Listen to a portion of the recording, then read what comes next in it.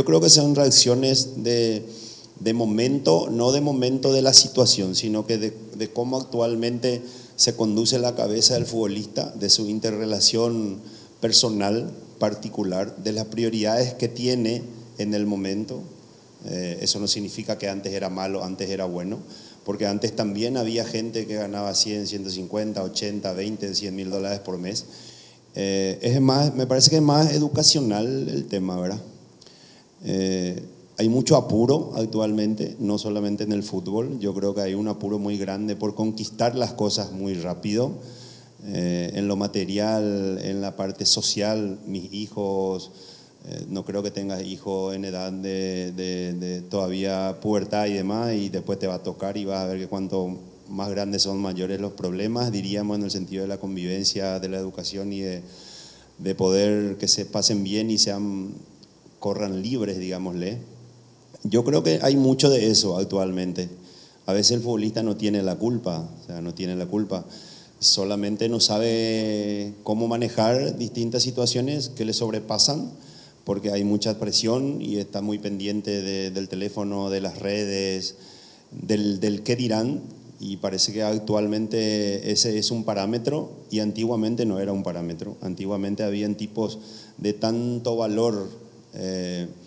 personal en cuanto a la educación, que eran capaces de absorber eso y querían que sea así justamente para usar como un aliado, un aliciente y una posibilidad de mostrarse y sobrepasar eso. Eh, yo creo que actualmente hay una, hay una inmediatez en ese sentido y que hay varios de los muchachos que no, no, no lo saben manejar, es lo que yo creo. Si es por la tabla,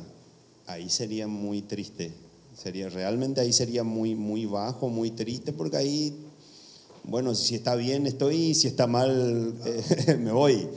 Y eso, eso, es, eso es muy duro y un muy mal ejemplo para, para nuestras generaciones, porque hay gente que los ve, gente que te ve, gente que me ve, y bien o mal algunos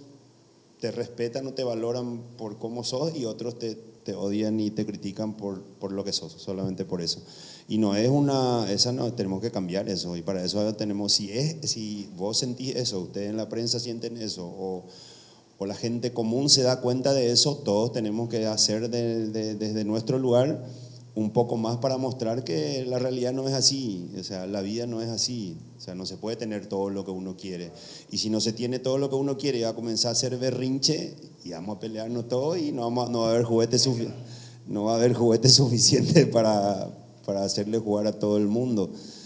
Eh, yo creo que es un poco por ahí, del, como te digo, de la experiencia vivida mía como atleta,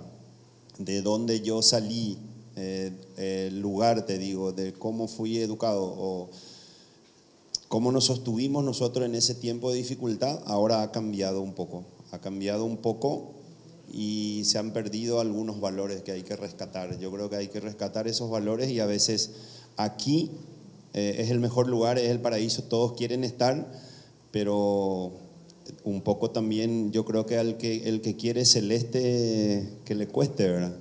No, es tan fácil mantener regularidad en la selección, jugar en Cerro y Olimpia y, y no alejarte un poco a veces de, las tentaciones, de los problemas, de desviar el pensamiento y dejarte llevar por cosas externas que no son, no son útiles para realizar tu trabajo. Eso es lo que creo.